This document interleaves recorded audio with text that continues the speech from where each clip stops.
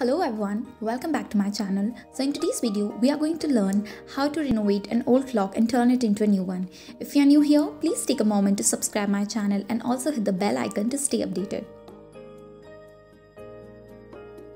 तो यहाँ पे मैंने एक पुरानी सी क्लॉक ली है एंड मैं उसकी सेल और जो ऊपर का हिस्सा है वो सब कुछ निकाल दूँगी नेक्स्टली मैं एक कार्डबोर्ड लूँगी जो कि मैंने सर्कल शेप में कट कर रखा है एंड मैं इसको इसके ऊपर स्टिक कर दूँगी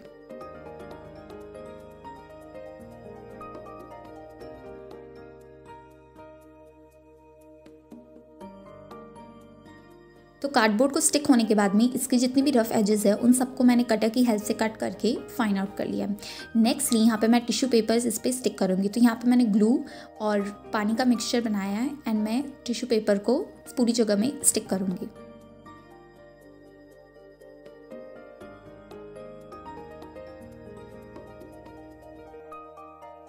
तो टिश्यू पेपर स्टिक होने के बाद में यहाँ पे मैंने वाइट अक्रैलिक पेंट लिया है एंड मैं जहाँ पे मैंने स्टिक करे थे, वहाँ पे सब पे कलर करूँगी ताकि हमें एक वाइट कैनवास मिले। एंड जो हमारी घड़ी है, उसके बीच में जो ये लिखा हुआ है, मैं उन सबको भी कलर करूँगी ताकि ये थोड़ा और इवन आउट लगे।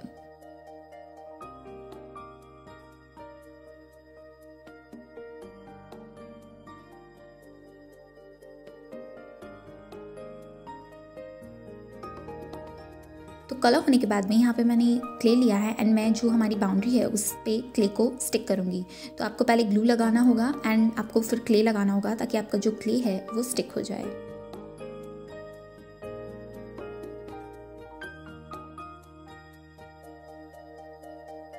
क्ले को स्टिक करने के बाद में यहाँ पे मैं गीशो बना रही हूँ तो इसके लिए मैंने यहाँ पे वाइट सीमेंट ली है एंड मैंने उसके अंदर ग्लू मिक्स करा है। अगर आपके पास वाइट सीमेंट ना हो तो आप प्लास्टर ऑफ़ पेरिस का भी यूज़ कर सकते हो।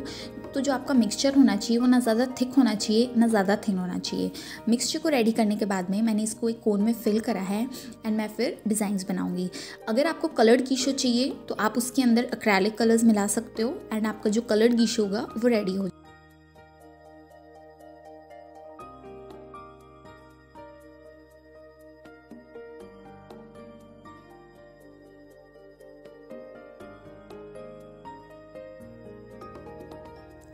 तो नेक्स्टली हम रोज़ बनाएँगे क्ले से। तो जो क्ले मैंने यूज़ करा है, वो थाई क्ले यूज़ करा है। एंड मैंने यहाँ पे टेन छोटे छोटे बॉल्स लिए हैं। एंड मैं इसको राउंड करके पतला दूँगी। जैसे आप रोटी बनाते हो, आपको वैसे ही करना है। आपको हो सके जितना इसको पतला करना है। एंड आपको इसको एक दूसरे के ऊपर ओवरलैप करना है ताकि आपकी जो पेटल्स है, वो अच्छे से बन के आए।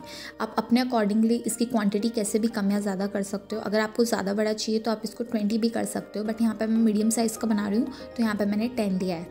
आपको इनको एक दूसरे के ऊपर ओवरलैप करना है।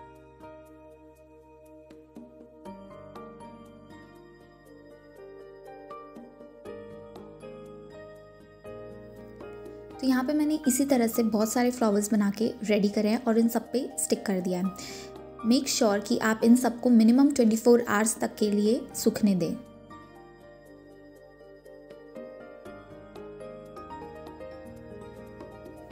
So it's been 24 four hours and now I am colouring it with the help of acrylic colours you can colour it as per your preference